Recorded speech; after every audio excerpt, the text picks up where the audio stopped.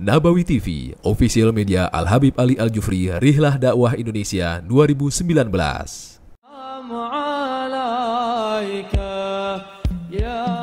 Senin 2 Desember 2019, Habib Ali Al Jufri menghadiri tablik akbar Majelis Aridwan pimpinan Habib Ahmad Jamal bin Toha Baagil.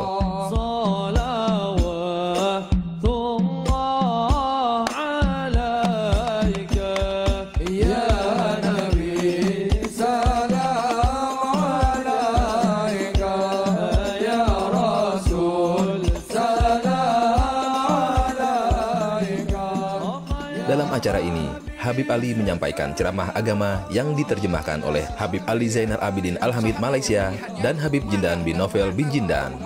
Dalam ceramah agamanya, Habib Ali Al-Jufri mengajak jamaah yang hadir untuk menguatkan hubungan persatuan dan perdamaian.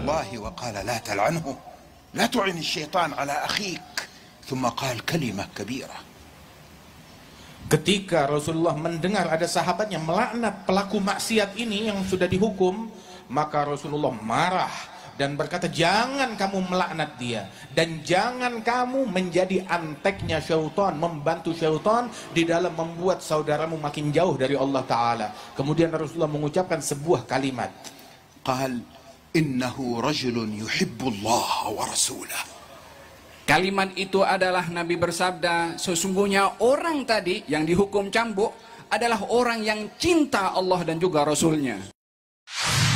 Keesokan harinya, Selasa 3 Desember 2019, Habib Ali Al-Jufri menghadiri kuliah umum dan dialog interaktif di Universitas Negeri Malang. Tema yang diangkat dalam acara ini adalah meneguhkan moderatisme dalam kehidupan beragama. Dalam acara ini, Habib Ali Al-Jufri menyampaikan kalimat-kalimat nasihat yang diterjemahkan oleh Habib Jindan bin Novel bin Jindan. Kita harus ya mengakui memang ada problem yang ada pada diri kita juga.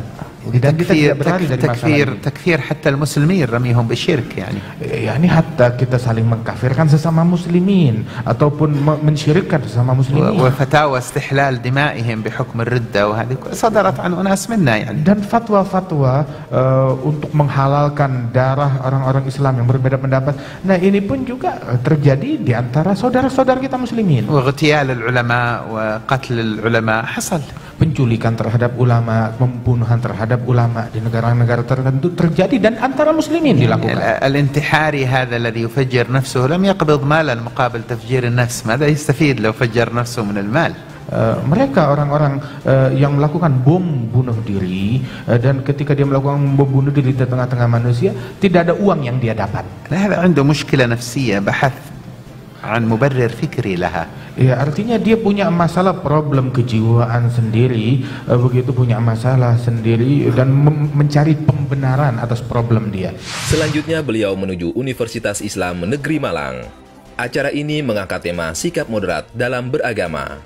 Dalam acara ini, Habib Ali Al-Jufri menjawab pertanyaan permasalahan agama dengan jawaban yang moderat.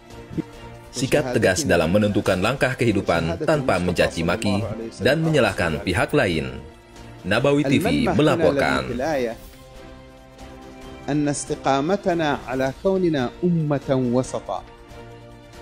يترتب عليه أن نكون نحن معيارا للأمم.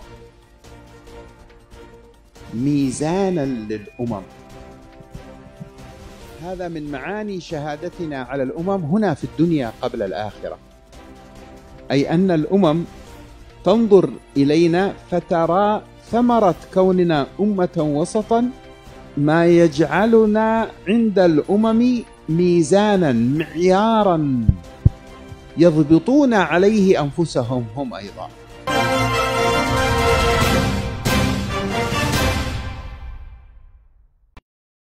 Nabawi TV, official media Al Habib Ali Al Jufri, Rihlah Dakwah Indonesia 2019.